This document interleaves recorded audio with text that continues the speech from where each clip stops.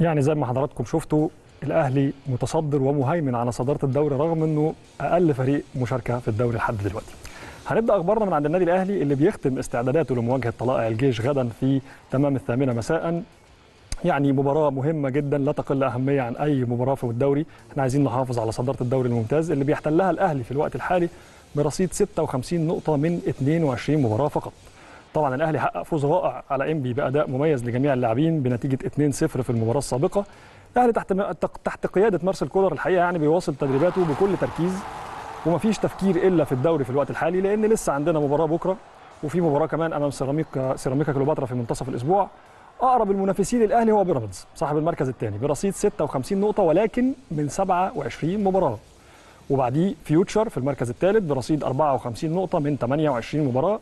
يمكن مستر مارسيل كولر فصل تماما تماما فكرة إن أنا بلعب في أفريقيا فلا التشكيل كامل في أي مباراة في الدوري. حتى عملية ال rotation بتحسسك إن كل الناس أساسيين كل اللعيبة واخدة فرص. أه تحس إن مثلا لما بيلعب ياسر ومتولي كأن بيلعب رامي ربيعة ومحمد عبد المنعم مفيش أي مشكلة.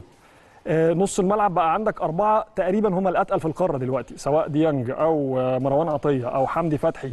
أو السوليه كلهم زي بعض. أي اثنين بيلعبوا أي ثلاثة بيلعبوا زي بعض. الروتيشن اللي حصل في أول الموسم دلوقتي إحنا عرفنا أو فهمنا الراجل ده كان بيعمل إيه. الحقيقة يعني حاجة في منتهى الروعة الراجل كل اللعيبة ال 22 لعيب تقريبا أساسيين.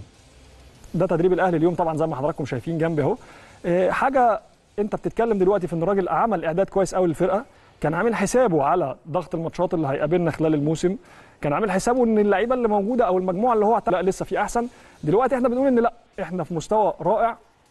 لكن ناخد كل ماتش بتفاصيله لوحده وهو ده اللي حاصل من مستر كولر الحقيقة يعني واخد كل ماتش لوحده. كل بطولة مركز فيها لوحدها برضو. يعني إحنا أول الدوري ولكن بنلعب كل ماتشاتنا على إن إحنا لسه رغم إن أنت عندك مؤجلات وفي فرق نقط. لكن لا أنت برضو بتحافظ على إن أنت توسع الفارق. نفس الكلام في أفريقيا بنقول كل ماتش لوحده حتى الماتش يعني ماتش الترجي الثاني كنت أنت فارق بثلاث أهداف الراجل نازل كأنه متعادل هناك أو خسران بيلعب على إنه هو لأ لازم نكسب برضه. فحقيقة اللي إحنا شايفينه من الجهاز الفني ومن اللاعبين طبعا اللي بيجتهدوا بشكل كبير جدا وحتى اللعيبة اللي ما بتشاركش يعني أنا على تواصل مع بعض اللاعبين اللعيبة اللي ما بتشاركش عندها استعداد للمشاركة وجاهزة. الكلام اللي بيتقال مثلا عن أيمن أشرف أيمن أشرف لو لعب مش هيقل عن الموجودين نفس الكلام لكل الفرقة. محمد هاني مثلا مع إسلام عبد الفتاح. نفس الكلام. خالد عبد الفتاح آسف.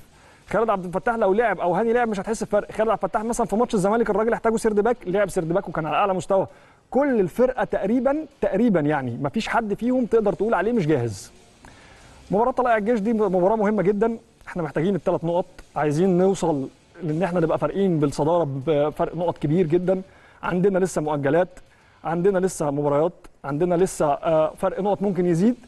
وكمان تاريخ المواجهات بصراحة بيننا وبين طلائع الجيش دايما في صالح النادي الأهلي.